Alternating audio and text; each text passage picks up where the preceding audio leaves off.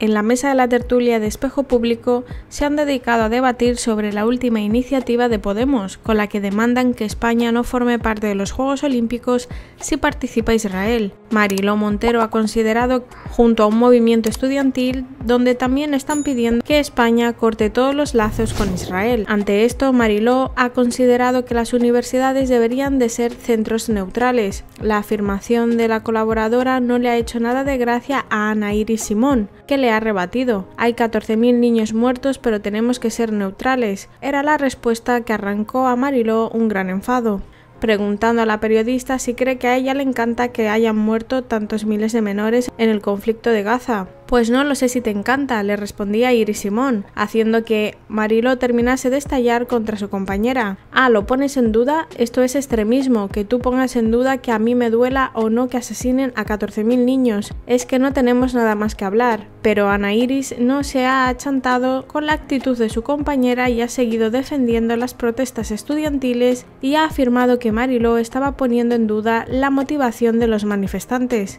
¿Cuál es la pega que le pones a esos estudiantes? ¿Están protestando por un genocidio neutrales ante la masacre de 14.000 niños? Le decía Iris Simón a Marilo Montero. Marilo seguía defendiendo que los centros educativos deben ser neutrales y ha querido detallar su argumento sobre esto. En cuanto a los Juegos Olímpicos, son personas profesionales y deportistas que llevan toda la vida de sacrificio entrenando para que vayan a hacer una competición y se tengan que postular políticamente. Pues no, para eso están los jefes de Estado y los políticos en los que hemos delegado responsabilidades. Son ellos los que tienen que negociar la paz en Israel. Se justificaba Mariló recordando que hay más de 65 guerras activas en todo el mundo, no solo la de Israel. Mariló ha dudado de la ideología de esta guerra porque Podemos se ha posicionado en contra de Israel. Ana Iris Simón ha considerado ridículo este último razonamiento y ha recordado cómo a España le pasa factura la guerra de Rusia, y es que en el conflicto de Ucrania hubo un posicionamiento institucional mucho más claro.